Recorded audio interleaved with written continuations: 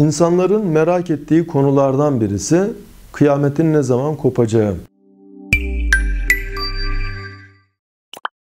Yıllar evvelinde bir delikanlı bana sormuştu. "E, Hocam dedi kıyamet ne zaman kopacak? Dedim ya ben nereden bileyim bu konuda net bir bilgi. Kitaplarda yok. Dedim böyle bir soru nereden icap etti? E, Dedi ki e, bir kahin Nostradamus işte ileride olacak şeylerle alakalı e, dörtlükler halinde şöyle olacak şöyle olacak bir şeyler söylemiş. Ta 1999'a kadar gelmiş. Daha ilerisi onda görülmüyor. Acaba kıyamet 1999'da mı kopacak? Tabii ben benim bu olayı yaşadığım zamanlar 80'li yıllardı. 99 daha gelmemişti. Ve ben o zaman kendisine şunu söyledim. Dedim e, kıyamet 1999'da mı kopar, 2099'da mı kopar veya başka hangi tarihte kopar ben bunu bilmiyorum. Ama benim bildiğim bir şey varsa ben öldüğüm gün benim kıyamet kopacak. Sen öldüğün gün senin kıyametin kopacak. Sana ve bize düşen görev kendi kıyametimize hazırlıklı olmak. Yani ölüme hazırlıklı olmak. E, Yoksa diğer kıyamet hangi tarihte koparsa kopsun aslında bir derece düşünürüz ama o derece bizi etkilemiyor.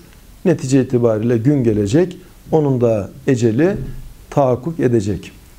İnsan nasıl ki e, zihayat bir varlık, dünyaya geliyor, belli bir eceli var, ortalama bir ömür, daha az veya daha çok yaşıyor ama neticede bu dünyadan gidiyor. Küllü men aleyhe fen, dünya üzerinde olan her şey fani. Dünyanın üzerindekiler fani olduğu gibi dünyanın kendisi de fani ve dünyanın ölümüne kıyamet diyoruz. Ve bu kıyamet de vakti geldiğinde kopacak. Ve öyle anlaşılıyor ki şu an yaşlı bir dünyadayız ve insanlık hayli merhaleleri geçirmiş artık son dönemin insanları. Kur'an-ı Kerim bize bunu iktarabeti saatu kıyamet yaklaştı diye anlatıyor. Ancak bunu söylerken kıyamet yaklaştı. Aradan 1400 yıl geçti. Hala kıyamet kopmadı. Yaklaşmışsa niye kopmuyor? Hatıra gelebilir. Bunu şöyle değerlendirmek lazım. Kıyamet dünyanın ölümü.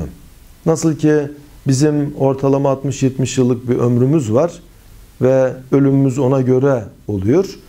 Dünyanın ömrü milyarlarca sene. Milyarlarca sene içinde 1400 sene az bir zaman dilimidir.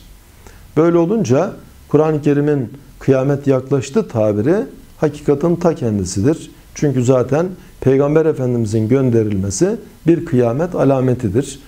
Ve günümüzde yaşanan olaylardan, gerçekleşen kıyamet alametlerinden görüldüğü üzere artık dünyanın da ömrü çok fazla değil. Bir de burada önemli olan başka bir nokta şu. Allahu Teala bunu perdeli kılmış. Yani kendi ölümümüz de perdeli. Ne zaman öleceğimizi bilemiyoruz ama inanıyoruz ki bir gün gelip öleceğiz. Ve yine inanıyoruz ki kıyamet ne zaman kopacak bilmiyoruz ama onun da eceli geldiğinde e, o da vefat etmiş olacak. Bu noktada bir kesinlik var. Hiçbir tereddüde mahal yok. Kur'an-ı Kerim'de beş gayb olarak ifade edilir. İnna Allaha indehu ilmus sa'a kıyametin ilmi Allah'ın katında. İşte yağmurun nüzulü, ana rahmindeki ceninin durumu, devamında kişi yarın ne kazanacak bilemez ve beşinci madde olarak da arzın neresinde ölecek bilemez.